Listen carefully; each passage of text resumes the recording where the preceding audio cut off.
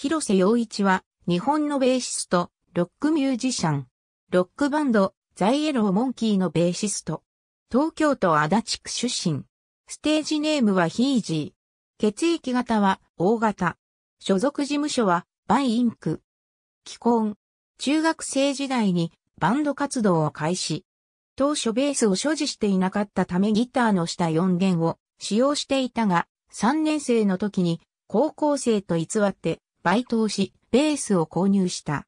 アンプも所持していなかったためラジカセにつないで練習し、3台ほど故障させたという。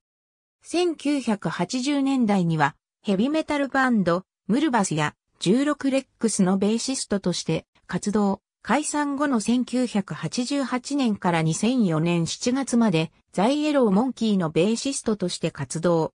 2003年から2005年12月までヒージー・ウィズ・ドゥーズのボーカルベースとして活動。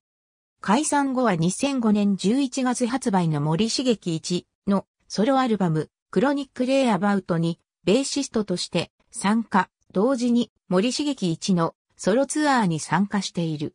2007年1月にキスとチープトリック限定のカワーバンドチャスを結成、渋谷 LA ママをはじめ各所のイベントに参加。2009年、前田、トニー敏人、岡田、岡弘、広志、大内、マット高正らと共に TYO を結成。2016年1月8日、ザイエローモンキー再集結に参加。2003年のザイエローモンキーの活動休止中に、ロックバンド、ヒージー・ウィズ・ドゥーズを結成。同年に BMG ジャパンよりデビューし、2005年12月に解散。バンド名のヒージーは広瀬のニックネーム、リューズは、洒落た男たちを意味する。